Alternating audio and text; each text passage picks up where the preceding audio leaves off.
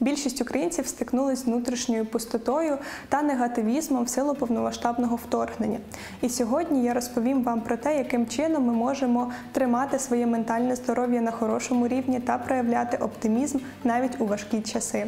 З вами психологиня, яка танцює Анастасія Онепчук. І сьогодні я рекомендую вам додивитись це відео до кінця.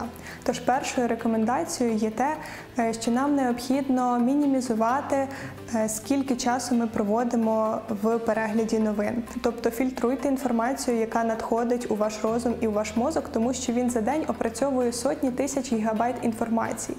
І таким чином це може деструктивно вплинути на наш внутрішній стан та поведінку. І якщо ви розумієте, що постійно постійний перегляд новин на вас е, в негативну сторону відображається, тоді вам необхідно для себе обмежити час, виділити одну годину чи дві для того, щоб бути в курсі усіх подій, які відбуваються навколо, і зробити це так, щоб це не впливало негативно на ваш внутрішній стан, тому що це дуже важливо тримати своє ментальне здоров'я на хорошому рівні, щоб продовжувати далі функціонувати і проживати своє життя. Наступним пунктом є навчитись технікам дихання та релаксації. Зараз я розповім розповім вам про одну з них. Вона носить назву метелик. Нам необхідно покласти дві руки на грудях, так щоб великі пальці торкались до себе. І наступним пунктом є те, що кожною рукою нам необхідно робити такі легкі постукування 40 разів з однієї сторони.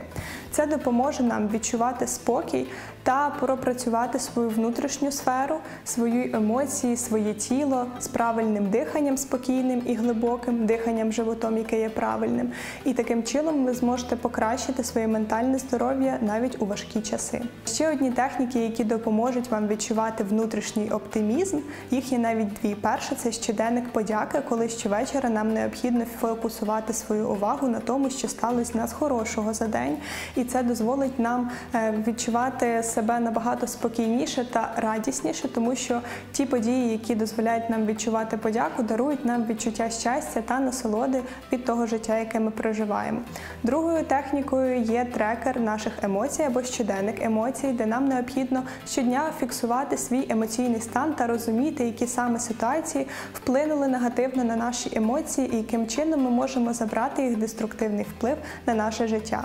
Тож, коли ви будете використовувати ці техніки, ви зможете покращити свій психологічний стан у е, такі важкі часи під час повномасштабного вторгнення, тому що нам необхідно тримати себе, бути сильними для того, щоб мати змогу продовжувати допомагати нашій державі та захисникам, які борються за нашу країну. Ще одна рекомендація є те, що нам необхідно шукати світло навіть у темні часи. Проводьте більше часу з близькими, друзями, рідними, з тими людьми, які е, дозволяють вам відчувати себе щасливими. Також вам необхідно знайти хобі або справу, яка дозволяє вам відчувати внутрішнє наповнення, задоволення і насолоду.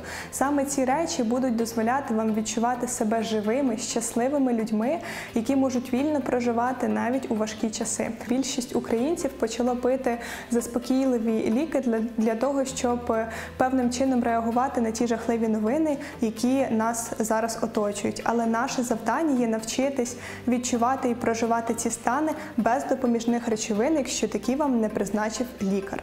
Тож е, забувайте за таблетки і навчіться проживати власні стани без них.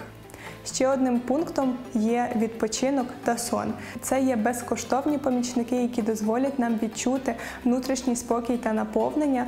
Тому нам необхідно завжди виділяти час для себе, відпочивати тілом та розумом, спати 7-8 годин для того, щоб бути наповненими і натхненними, щоб продовжувати життя у нашій країні. Тож користуйтесь цими правилами для того, щоб відчувати внутрішній оптимізм навіть у важкі часи.